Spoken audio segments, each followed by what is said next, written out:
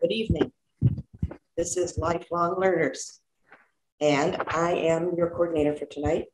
And we're excited because we have Jeff Thomas back again, and the topic is called The Ship That Time Forgot. I'm excited to hear about this one. Thanks for coming. Well, thank you. I have a notification in the middle of my screen here. Hang on one second. Okay. So the ship that time forgot, believe it or not, is what we would call a modern shipwreck, sinking in 1953. You hear a title like that, you would probably think that we're talking the 1800s here, but uh, the the Henry Steinbrenner is has been a story that's fascinated me since I first heard about it. Uh, I have no real reason for that other than I feel a little bad for this boat because everyone forgot about it, and only a handful of ships have gone down on the Great Lakes since the loss of the Steinbrenner, and yet we remember them and and not not poor Henry here. So I'm here tonight to tell you his story, and we'll see that really probably wasn't a good idea to sail on the Henry Steinbrenner because right from the get go, the Steinbrenner was what we call a bad luck boat. So it was built in 1901 at the Jenks Shipbuilding uh, Yard in Port Huron, Michigan. And before it even touches water for the first time, the shipyard catches on fire not off to a good start. Fortunately, the firefighters were able to save not only the uh, the uh, the main shipbuilding equipment at the yard, but also the ship itself. Although it did destroy all the buildings at the shipyard, uh, but the firefighters were at least able to put it out before it damaged the Steinbrenner completely. So she's already in trouble before it even launches. And then it is launched and they finish fitting it out and, you know, putting all the little amenities into the cabins. And then on November 14th of 1901, the Steinbrenner is leaving Port Huron to begin its maiden voyage in the evening of the 14th, and it promptly runs into the 10th Street Bridge, doing a considerable amount of damage. And the rumor is that the Steinbrenner left at that particular hour of the night because the owners wanted to avoid it beginning a voyage on a Friday because there's a superstition among sailors that voyages should not start on Friday. So they want to avoid that bad luck. So they avoided the bad luck of starting on a Friday to get the bad luck of hitting a bridge. Not off to a good start. It gets worse, sad to say. A few years later, in December of 1909, the Steinbrenner is downbound in the St. Mary's River, coming down from the Soo Locks. And he's nearing, if you can see that kind of round island, I think I have a little cursor here. This little island right here is called Round Island. And he's approaching that island downbound, and it's it's a winter storm. It's windy, there's snow, and he hears an upbound vessel blow a passing signal. Now, in 1909, of course, there's not ship to ship radio. So there were particular whistle signals that were used so captains would know which side of the vessel they're going to pass on. And he hears he hears the, the, the standard whistle signal for a starboard to starboard passing or right side to right side. And Captain Lower of the Steinbrenner answers. He thinks all is well. And right as they're approaching each other, the captain of the other ship suddenly changes his mind and blows the signal for a port to port or left to left side crossing. There's no time actually for him to respond to that. He does try to at least slow down. That other vessel is the Harry Berwind, and he's going to crash right into the starboard side of the Steinbrenner, about the number three hatch, and punch a really nice big hole in the Steinbrenner loaded ships with big holes in them sink rather rapidly. so the, the crew of the Steinbrenner have to abandon ship real quickly in the yawl boats. And they have quite a story to tell. Again, it's a winter storm. So even though they are technically in a river, the seas aren't so calm to be out there in a rowboat. And it's none too warm in December. And of course, the captain, the second mate, and the wheelsman are trapped up in the bow section because the water is shallow enough that the forward and aftermost cabins are still above water. And so these three men are stuck up on the bow and they're listening in the darkness. They're listening to other ships passing and they're coming within 20 feet of them. And so they are, they get a lantern going to let upbound ships know that there's a sunken boat in their way. And finally, the Berwind lowers a lifeboat and comes gets these three guys off of the wreck. And they go to the Round Island Lighthouse. The lighthouse keeper takes them in, warms them up for the night, and then a passing freighter takes them back to the Soo the next day. But it was it was quite a uh, quite a hectic night for the crew of the the Steinbrenner, and it leaves the poor Steinbrenner looking like this. So now what do you do? You can't leave the ship in the middle of the shipping lane in the river. So this, the uh, Kinsman line abandons her to the insurance company and they give the contract to raise it to the famous Reid Wrecking Company for $30,000. And now Captain Tom Reid is the most famous of these salvagers on the Great Lakes. He's very good at what he does. He does manage to get a patch over the hole in the side of the Steinbrenner but he's going to have to wait until spring to raise it. By the time to get the patch over the hole, the river's already freezing over. And so the, the Steinbrenner is going to have to wait all winter sunk in the ice until spring. Come spring, he is able to raise, raise the Steinbrenner, tows it to Detour, where they make some more solid uh, repairs to it, and actually get the engines working and she's going to take off down the lakes for permanent repairs under her own power. She might be a bad luck boat, but she's a tough little boat. So he gets it floated, and they're going to take off for Port Huron. When she arrives on June 4th of 1910, it, like I said, it's under her own power. But then they get by Detroit and they realize it's leaking again. So they have to they have to make a dock in Detroit.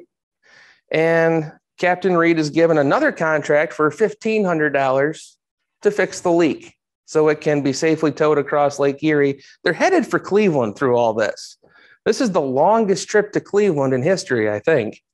And so he he makes some more minor repairs and plugs up the new leaks. And they're going to take it to Cleveland for permanent repairs at the shipyard.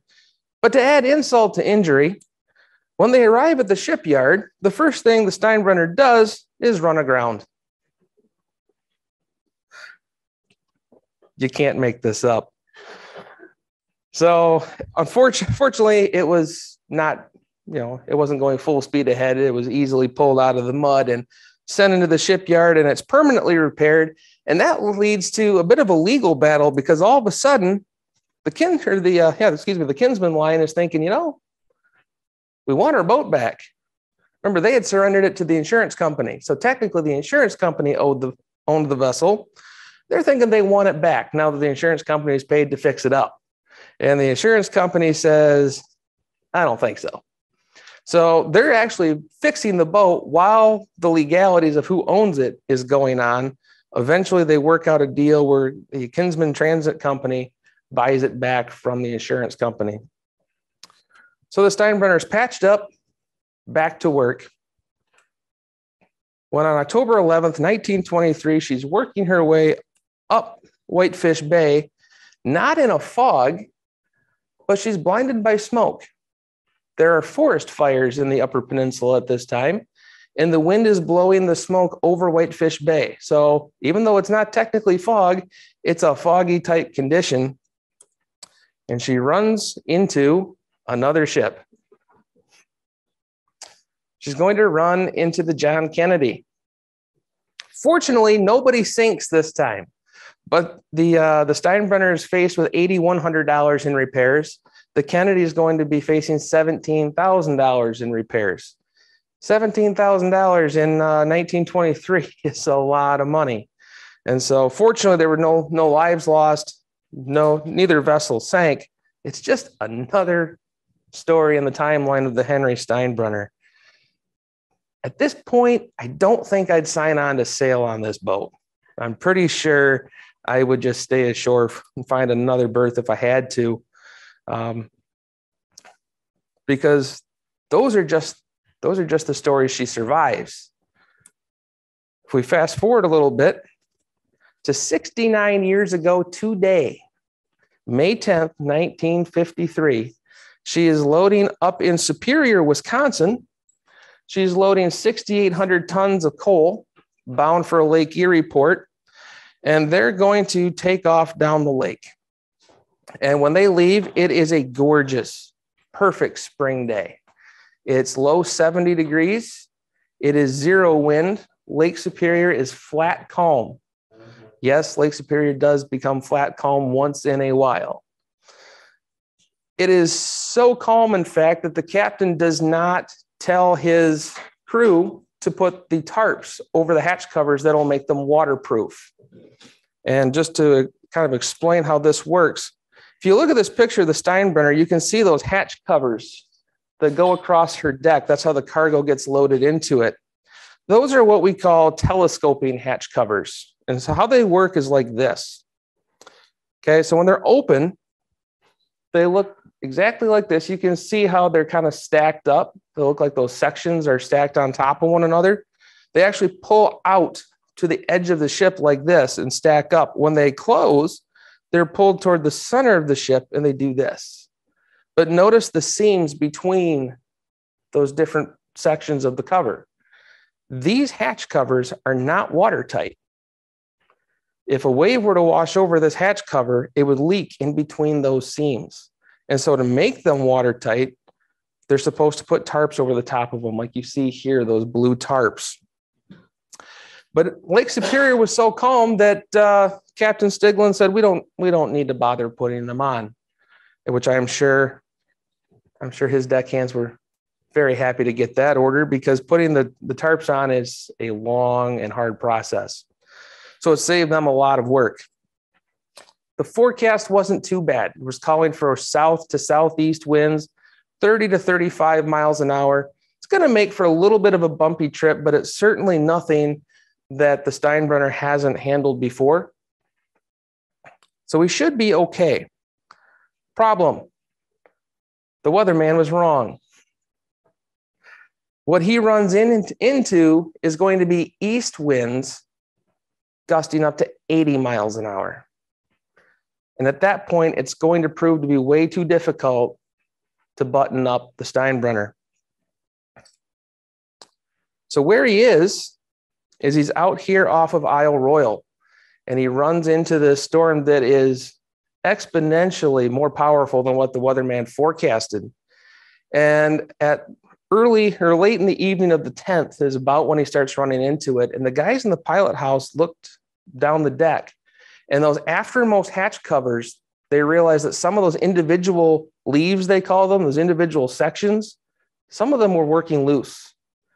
And in 20 foot seas, these, these waves are going right over the deck. And if your hatch covers are coming loose, if they're falling apart, then those waves are pouring right into the cargo hold. And that is a extremely dangerous situation for a lakes freighter.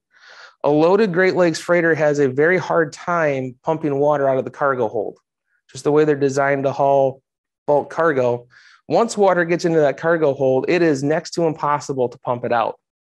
And even if they could, open hatches are going to let in more water than the pumps can pump out. So he has a real problem. So believe it or not, four guys have to walk out on deck being swept by waves and go fix these hatch covers and there's a lifeline that goes down the middle of the ship and these guys get safety harnesses on and they actually clip themselves to this lifeline so if anyone gets washed overboard their shipmates can pull them back aboard i'm glad we don't have those now. So they go out there and one guy in the process of fixing the hatch covers one guy falls into the cargo hold. He actually falls through the open hatch and his shipmates have to pull him back up out on deck. And fortunately he wasn't hurt too terribly bad. But these four guys realize there's no way they're going to get back to the bow. There's no way they're walking 300 feet of deck in these waves back the way they came so they're kind of marooned on the stern of the ship things go okay for a little while and then Captain Stiglin realizes several hours later those same hatch covers are working loose again. And by this point, it's early morning of the 11th. There's no way the storm has increased even more. There's no way these four guys can go back out. Um, they almost didn't survive the first time, and now the storm is even stronger. They're not going to be able to get back out and fix them a second time. And then they realize up in the pilot house that the Steinbrenner's not acting quite right. They're turning the wheel, and the ship is just not responding as quickly as she should, which tells them there's way too much water in the cargo hold. And so something has to happen to the Steinbrenner quickly, or she will go down, which leads Captain Stiglin to make an incredible maneuver. He's going to turn the ship around.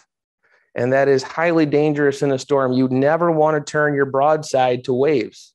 If he doesn't have the power to get out of the trough of the waves between those waves in the middle of his turn, he could actually capsize the ship. But he has he's faced with two options. He can either keep going the way he is, and he knows he's going to sink eventually, or he can turn around, hopefully survive the turn, and he's trying to use his stern deck house to give his men enough protection to go fix those hatch covers. They complete the turn, and it doesn't work. The waves are going right around the stern deck house, not providing any protection at all. And so those guys cannot get out and repair the hatch covers. So after about 10 minutes, he turns around again. He puts it back on the original course, and they're going to try to make a run for the other end of the lake. They have to, they're down to hoping that the Steinbrenner will last long enough to get to Whitefish Point, basically. It doesn't take much longer. It's about seven o'clock in the morning of the 11th when he realizes that the Steinbrenner is going to sink. It's really low in the water now. It's not answering the helm. And so he has to make a decision that no captain wants to make. He has to tell his men to get off this thing. So he sounds the general alarm. He issues the abandoned ship order. And by this point, in 1953, there is ship to ship radio. So he grabs the radio in the pilot house and he starts issuing a mayday call. The Steinbrenner is not going to be salvageable at this point. When he issues that mayday call, there are a lot of ships that hear it because most ships are at anchor somewhere. They're, they're in safety from this storm. But when they hear the mayday call, these ships are going to pick up their anchor and they're going to go pounding through these 20 foot waves that just 10 minutes before they wanted no part of. One of the ships that the, that's going to hear the Mayday call is the largest on the Great Lakes at the time, the Joseph H. Thompson. She has kind of a already a heroic history. She started as a troop transport ship at D Day at Normandy. So this is not her first time working in a crisis. And she's going to go answer the Mayday call. The steamer Wilfred Sykes is also going to head for the scene along with the Pittsburgh Steamship Company vessel, the DM Clemson. If you listen to my presentation last month, it is not the DM Clemson that I talked about in my ghost presentation. This is the DM Clemson number two. Someone else is going to answer the Mayday call. And that's going to be the Coast Guard station in Grand Marais, Minnesota. They're going to send a 36 foot motor lifeboat. In a storm that's sinking a 400 plus foot steel freighter, these guys are going to go out in a 36 foot lifeboat. And believe it or not, they're going to get there. They're led by bosun's uh, bosun's mate first class John Mixon. They will get to the scene, but by that point, these three freighters have already picked up all the survivors. They will, however, pick up one of the lost crewmen from the Steinbrenner, and then they'll go back to their station. Word is the stress of getting that lifeboat out to the scene and back in that storm. When they got back to the station, John Mixon had a heart attack. The stress was that hard on him that when he was done, he sat down in his chair and he had a heart attack but he went. I believe he survived the heart attack as well. Those Coast Guard guys are tough. Interestingly, one thing we never get to see is what a rescue at sea looks like. Someone on board the Joseph Thompson had a camera. And so these are these are firsthand photographs of the rescue of the Steinbrenner crew. And you can see uh, this is this is the forward uh, life raft. So they had lifeboats back in the stern, And then at the forward end of the ship, they'd had these pontoon style life rafts. And so this would have been this would have been the bow crew. Captain Stiglin would have been aboard this particular raft. Um, and so they're getting up here next to the side of the Joseph H. Thompson. And then they get right along the side. You can see the guy where it says Hanna line on the back of his coveralls. That'd be a crewman from the Thompson. He's gone over the side of the ship and he's helping to, he's tying a line onto the raft to secure it on. And they're going to tie ropes on these guys. They're going to haul them right up the side of the ship out in the middle of the lake. And one thing that the, the Wilfred Sykes does, so this is on board the Thompson and this other ship that you see to the side, that's the Wilfred Sykes. She's turned her, by now the storm is, is dissipating. These aren't 80 mile an hour wind gusts anymore, but the Sykes is providing a lee for the Thompson. She's using her side to break the wind and the waves to provide some calm water for these guys to get the, uh, the survivors out of the water. And then you can see here this big knot. They've got this guy up on the deck. So they would they tied a big heavy line around these guys and just pulled them up the side of the ship into safety. But to me, this is one of the coolest things of the Steinbrenner story because we never see pictures of a rescue at sea. These are working guys. They're not out there on a cruise. They don't take their cameras. So I don't, I don't know the name of the guy who had the camera. I don't know who took the pictures, but I'm really glad he was there at that particular time. It, uh, that evening, the evening of the 11th, news is starting to break that the Steinbrenner's gone down, uh, but there's not a whole lot of information yet. The headlines are simply announcing that a, a ship has been lost on Lake Superior. The Thompson is going to bring Captain Stiglin and 11 other survivors to the Soo.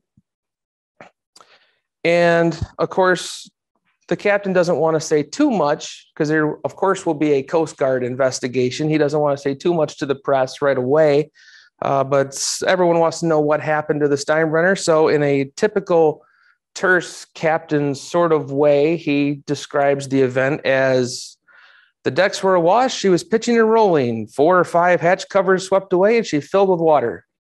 Well, that covers the story. He's not going to give too many details before the inevitable Coast Guard investigation. Once the investigation starts, it will start in Sault Ste. Marie, and then later on, it will it will move to Cleveland. The Coast Guard officers uh, they go up to the Soo so they can interview people as as quickly as they can. Um, at that point, the captain starts telling more details of what happened to the ship, the weather conditions it ran into, he makes he makes sure that he gives careful account of what he did to try to save the Steinbrenner because uh, he could face some some consequences here if he was proved negligent. So he makes sure he focuses on what he did to save the boat. And the other crewmen just talk about how cold it was for four and a half hours on a pontoon in Lake Superior in May. They also talk about one other story they make sure to talk about their third assistant engineer, Arthur Morse. Arthur Morse is going to be lost in the sinking, but he's going to play a very significant role in seven other guys. The starboard lifeboat at the stern, when they launched that, the guys did well. It's very difficult to get a lifeboat in the water in stormy seas. They managed to get it in the water. They, they did launch it. And they got in the water and they realized they were still connected to the sinking ship. There's a rope called a painter that you tie onto the rail of the ship. Well, before they started lowering the lifeboat, someone forgot to untie it. And now they are 20 feet below, below where it's tied on. No one has a knife to cut the line and they are in a lifeboat still tied to the ship that's sinking and it's looking like it might take them down with it. When arthur morse suddenly walks out of the aft cabins sees what's going on walks over and unties the line. And he he waves at his shipmates turns around and walks back into the aft cabins. He makes no attempt to jump overboard and maybe swim to the lifeboat Although one guy says he yelled at him to jump. And apparently it was Arthur Morse's opinion that when the big boat is sinking, the little boat's not going to do any better. And so he chose to go down with the Steinbrenner and he was lost in the sinking, but before he was lost, he did save seven crewmen's lives. Of course, the rescuers are always praised, right? So um, the Hanna line present every member of the crew of the Thompson with a $50 um, savings bond. And the Inland Steel Fleet provides a savings bond for the crew of the Wilfred Sykes. And the Pittsburgh Steamship Company is going to award gold medals to every crewman aboard the DM Clemson.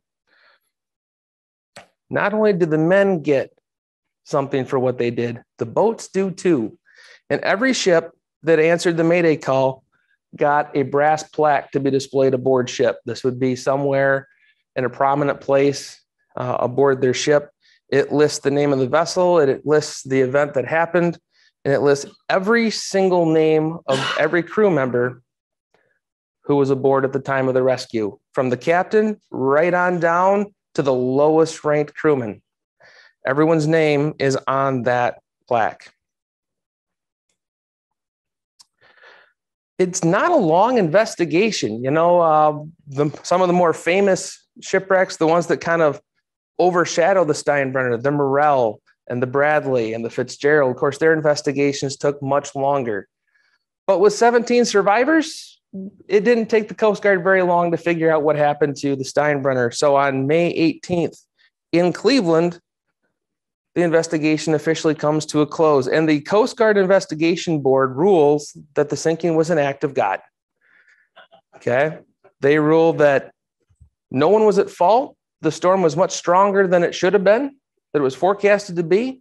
And they rule that no one's at fault. And they also recommend Arthur Morse for special commendation for his actions before he was lost. The Coast Guard Commandant rejects all of these. He says there's no way. He said he points to a regulation that says it is the captain's responsibility to ensure that his vessel is weatherproof before leaving protected waters. And he says the fact that Stiglin did not order the tarps put over the hatch covers means he was derelict in his duty and he is responsible for the loss of the ship. Interestingly, he also denies the commendation for Arthur Morse. And he says that no one on board did anything above their expected duty. And that didn't sit well with the seven guys that he saved. So Captain Stiglin is not off the hook, shall we say. The Commandant of the Coast Guard has rejected his board's findings and he is recommended for prosecution. Initially, there's six charges against him. Three get dropped, and he's going to face prosecution for three remaining charges. The U.S. Attorney General's office reviews the case, and they determined that there's nothing to prosecute here. So he's not going to go on criminal trial for what happens. Should be good news, but unfortunately, poor Captain Stiglin is not out of the woods yet. Now he has to face a hearing from the Coast Guard to see if they're going to take away his captain's license. Poor guy is just being attacked on all sides. And that investigation turns into a he said, he said about the condition of the Steinbrenner. The invest the, the testimony in, in the investigation about Captain Stiglin almost reads like reality TV, really. So now the investigation over the sinking is done, and now they are simply it's he's almost on trial for his his job. He's not facing jail time anymore, but the Coast Guard could come in and revoke his master's license and he could never sail again. So in March of 1954, he's once again on trial. And there's a deckhand that worked on the Steinbrenner, Archie Malloy, who says that the hatch clamps were faulty. He said there are a lot of the hatch clamps that actually battened down the hatch covers, not the tarps, but the, the pieces that were falling off in the storm. Says a lot of those they, they screw on, so you can put tension on them by just tightening them. So a lot of the threads were stripped out. They actually wouldn't tighten like they're supposed to. Well, that raised eyebrows. And when he was asked about it, Captain Stiglin said, I never heard that story. I was never told that we had any issues with with uh, hatch clamps. And To be fair, in the captain's defense, it's not his job to physically go inspect the deck before he takes off. If that had been a problem, there's a chain of command. It should have been reported to him, but it's not his responsibility to physically go look at every hatch clamp before he departs a port. Another captain actually contradicted some of what Stiglin said. Okay, so the master of the Robert L. Ireland, Captain William Humphreys, he was actually in the same vicinity of Lake Superior as the Steinbrenner when it went down. And he said, I didn't have tarps over my hatches either. I didn't think the storm was that bad. We were in no danger of sinking. No ship really should have been lost in this storm. So you have another captain that's contradicting Stiglin. Another captain in the same part of the lake is saying, no way but through negligence would the Steinbrenner have been lost. But back to the faulty hatch cover or hatch clamps. Okay, maybe we have a physical problem here that was missed. Except a month and eight days before she sank, the Coast Guard did their annual inspection and said she was seaworthy. So if the hatch clamps weren't good, you'd think the Coast Guard inspector would find that, and they didn't. Ultimately, he's actually cleared of everything. He does not lose his license. He gets to go back to sailing after a 10 month ordeal between various courtrooms. This man was on trial in some courtroom somewhere for basically 10 months before he got to find out what was going to happen to him. And that's really kind of where the story of the Steinbrenner stops. There are 17 survivors, 16 men are lost. Should have been front page news for a while. It should have been in the public mind for quite a while. But five years later, the Carl D. Bradley is going to sink. And then in 66, the Daniel J. Morrell will sink. And of course, we know in 1975 that ship with a song about it sank. And so the Steinbrenner is lost, it's forgotten. But there are still links to it, still with us today. And in fact, the, one of the coolest links is the first mate, who unfortunately was lost, is from Alpena. So we have an Alpena connection to this story as well. But there's some other links to this story that's still around. The Wilfred Sykes has been converted to a modern self unloader, and she is still sailing around even now. The Joseph H. Thompson in the 90s was converted to a barge, but most of her hull is still sailing. You might notice something interesting about that picture. Obviously, that's a picture taken from on board the Thompson, because in August 2020, I sailed that ship. So I have a personal connection to this story. Those pictures I showed you of the rescue, yeah, I've walked those deck plates. I've been there. And then a couple of years ago, we took a vacation out to the Keweenaw Peninsula and we went to the Eagle Harbor uh, Life Saving Station. It's a museum now. And this is the only piece of my favorite shipwreck story that I've ever physically seen. Turns out one of the deck lights, this looks like a, a spotlight probably, broke loose in the sinking. And because it's a sealed unit, had some buoyancy. And it was picked up out of the out of the water and it's on display. I had no idea it was there. We went there for a totally different reason. We just wanted to see the museum and, and we were exploring the Keweenaw Peninsula and walked into the boathouse. And here's a piece of, of my favorite shipwreck story. And so there is a piece of it still around. And so the, the Henry Steinbrenner has not been found yet. Um, it is somewhere off that tip of the Isle Royale. We know basically where it is. It should be somewhere in about five to 600 feet of water. So it's very deep. The problem is some of these stories, some of these wrecks, we know roundabout where they are. But Lake Superior is so remote. And trust me, when you're in that part of Lake Superior, you are a long way from nowhere. And so the shipwreck hunters have a really hard time logistically getting out there to go find it because they have to carry so much extra gas for their boat motors. There's not a gas station on Isle Royale for their for their diving boats, for their searching boats. So no one goes out there and goes looking for it. I don't know when it'll be found. I do know one of the premier shipwreck hunting groups has it on their list of to find wrecks. And those three guys have found some major ones in the last five to eight years. So hopefully in a couple of years, maybe less, maybe we'll get to see her again. But until now, she's still lost somewhere at the bottom of Lake Superior. But at least tonight, she's not forgotten anymore. That's the story of the Henry Steinbrenner. So I think I actually went kind of quick through that one. But uh, are there any any questions? That is officially the end of my story this month. Can I ask? Absolutely. You said you, there was one, one, uh, who was this one? Alpena, uh, eight. First mate, yes. You know what his name is?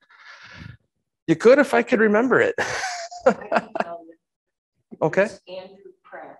Yes. Thank you.